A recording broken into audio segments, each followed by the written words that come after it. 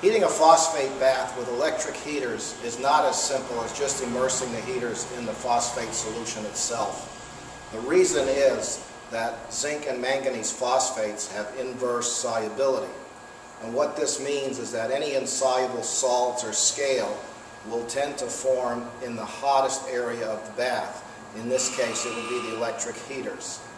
The heaters would then scale up, and these insoluble materials would cause premature failure due to localized superheating. The best way to heat a uh, phosphate bath electrically is with a design that is called a double boiler or the tank within a tank concept, where the electric heaters are positioned in the outer jacket. And this outer jacket also has a high boiling point heat transfer medium, such as ethylene glycol. This glycol solution should be circulated at all times to assure maximum heat transfer efficiency.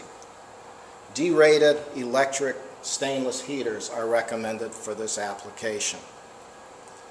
The bath temperature is maintained by means of a thermostatically controlled uh, instrument with the thermocouple positioned directly in the phosphate bath.